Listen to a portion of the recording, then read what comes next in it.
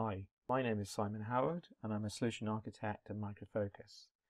This video is about integrating Fortify on Demand static scans into a continuous integration pipeline. Now there are five ways in which you can perform static scans with FOD. You can perform a man-initiated scan or indeed scan from a supported IDE. But there are three ways in which you can actually scan from a CI pipeline. We're going to talk about all three of those today. Now, when you perform a static scan, a SAST scan from the CI pipeline, one way is to use our plugins. The concept is always that you will add an additional stage to an existing pipeline. Now, on the right hand side over here, you can see a rough indication of what a pipeline might look like, the flow, if you like. It might get code and dependencies from somewhere or other. There'll be a build stage, a test stage, and then you would introduce a new Fortify static scan stage. An option you might pass or, or fail, for that matter, a build as a consequence of the results. Now, when you, use our plugins, what actually happens is we package all the code together for you and the dependencies, and then we upload it as a payload to FOD. You get statistics available, and those are you perform fully automated scans. The one thing you have to consider when you're integrating a scan with a pipeline is scan frequency, as you don't want to be overwhelmed with results and you want to take into account how long they're going to take as well, because you don't want your pipelines to be essentially waiting for scans to complete if they take some time. Now, before you actually integrate a scan or scan process into your pipeline, you need to, eh, within FOD, to set up the static scan settings. And this form on the right hand side here shows you an indication of what the form looks like. In essence, what you do is you define the type of scan you want to do. For example, whether you want to do a static assessment or a static plus assessment. Uh, typically, when the CI pipeline, you do static assessment because they're fully automated, but optionally, you might do a a, a, static plus assessment where the results are manually audited by a Micro Focus security professional. And you have to define, for example, the technology stack that you want to scan as well. Now you'll only need to define those scan settings typically once, but they do need to be set up and they can be done or set up rather manually or programmatically. So now let's get to the nitty gritty of talking about integration. First, using the FOD plugins that are available off the shelf. So there's an Azure DevOps plugin. This is available from the Visual Studio Marketplace. It works with classic and YAML-based pipelines. And as we talked about, the, the concept is you add an additional stage to your pipeline. The plugin will automatically package together all the source code and dependencies for you and then upload the payload to FOD. And that's really useful, particularly if there's a possibility that you might accidentally miss out dependencies and get sort of results that are not as high quality as you'd like them to be. The plugin can poll for results. It can also fail a build if your security bar is not met. That's tied into security policies in FOD that you can define. And you've also got the capability to say to the plugin, if there's already a scan in progress for this release of this application, I want you to either queue, cancel the scan, or replace the scan. And that can be really useful as well. Now there's a good video available on Fortify Unplugged. This is the, a screenshot from that video. Would recommend looking at that to get more background information. There's also a Jenkins plugin. This is available from the Jenkins website. It works with freestyle projects or Jenkins pipelines. Again, an additional stage is added to your pipeline. The payload, again, consisting of your source code and dependencies will all be packaged together for you. And it's uploaded to FOD. Again, it, this plugin can poll for results and it can fail builds if the code doesn't meet the security bar. And again, like before, for the, for the Azure DevOps plugin, it can queue, cancel scans, or replace scans as you want to do. You can turn that option on or off as you want to. There is a Fortify Unplugged video available as well, which covers this in more detail. I will definitely have a look at that. Now for GitHub, slightly different sort of process. This is a, reasonably recently introduced uh, plugin. It's available from the GitHub marketplace and enables you to initiate scans from your GitHub workflow. You may or may not use the ScanCentral client to make it easier to package your code. And it uses under the hood the FOD uploader to automatically upload the payload to FOD and to initiate the scan. We're going to talk more about FOD uploader in a little bit. And we provide sample uh, YAML temp template to you so you can learn how to use this tool and base your pipeline, if you like, on that template. And the, the plugin can also be set up to poll for results if you want that. And importantly, the results are available when the scan is completed on the GitHub security tab. The screenshot on the right here shows what the plugin looks like on the GitHub marketplace. There is a really good video available for you on Unplugged by Matt Stanchek, which basically talks about how you can do this, how you can do that integration with GitHub. We also have a GitLab Pipelines plugin now. That's available from the GitLab uh, website. This was also recently uh, recently in introduced. We provide some standard GitLab CI referenced uh, YAML templates, which helps you to understand how to do the integration. Now, this uses the Fortify CI Tools container image, which is available on Docker Hub. You can optionally use, like before, for GitHub. You can use the ScanCentral client to make the packaging of the code easier. Again, this uses the FOD uploader to upload and initiate the scan. It can be set up to poll for results, and you can optionally decide to fail a build if it doesn't meet the desired uh, security bar. There's a video available for this too as well by Dylan Thomas, uh, available on Fortify Unplugged. So you've heard all about these plugins. What's the benefits of using those plugins? Well, you can use those built-in features I've just talked about, at very high level integration with your CI pipeline would be potentially performed quicker and you don't need a development resource. You can take advantage of new features when they become available. We have a roadmap for these tools.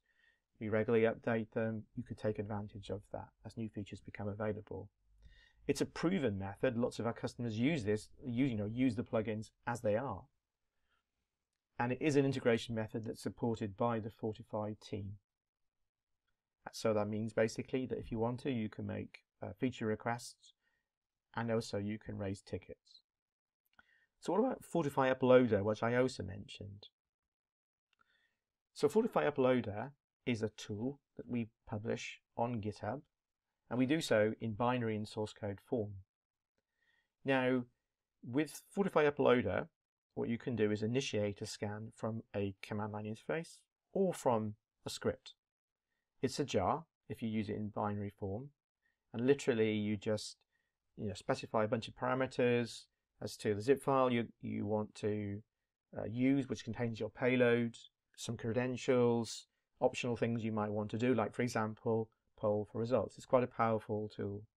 And you can go look you know, right now at the details of it on GitHub. And it is a quick approach if you've got access to all your code and dependencies.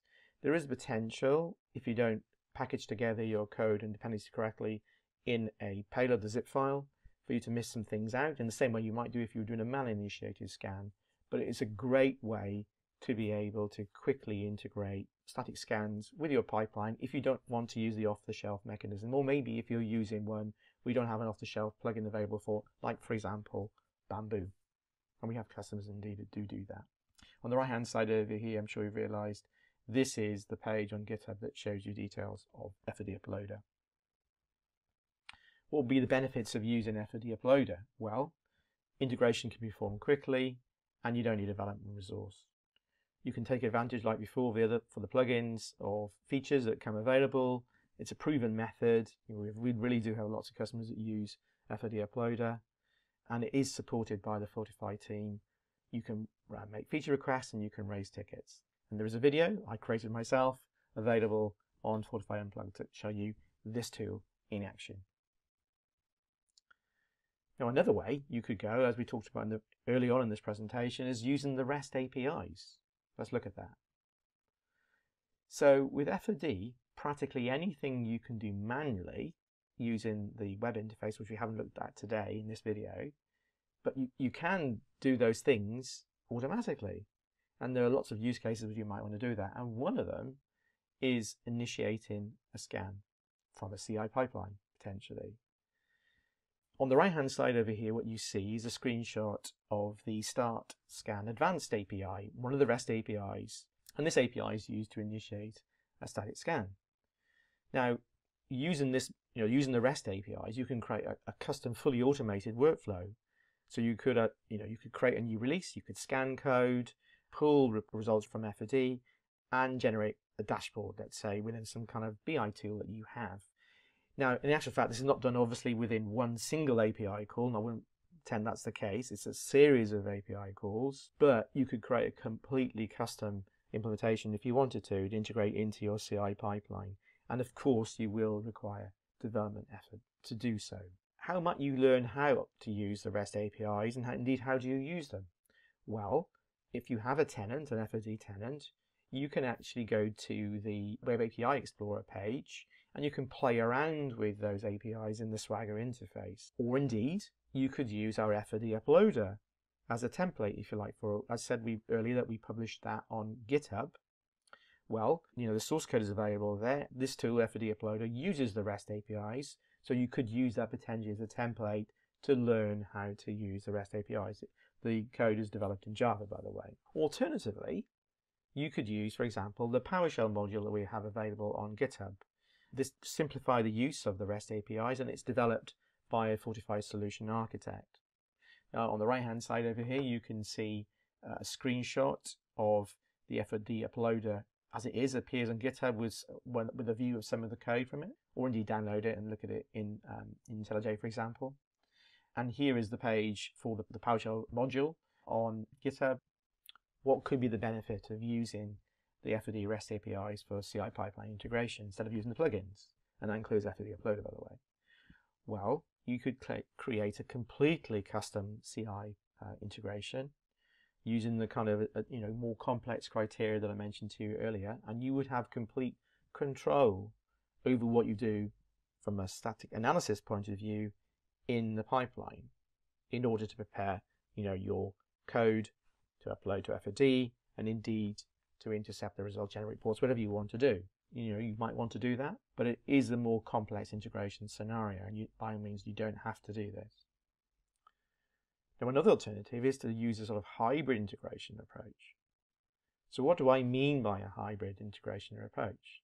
So that would be where you would use uh, an FOD plugin one of the ones I talked about earlier or FOD uploader plus customize the behavior using the FOD REST APIs what sort of use cases could that be? Well, there's a series listed here. If I go through them very quickly. So an example use case could be in a new stage, coordinate the API that creates a new release. Imagine, for example, if you create new releases daily, you kind of like want to be able to automate the process of creating new releases in FOD as well before performing the scan. Or another another scenario might be you want to create a new report after the scan so, you know, use a plugin, but then create the report automatically using the REST APIs.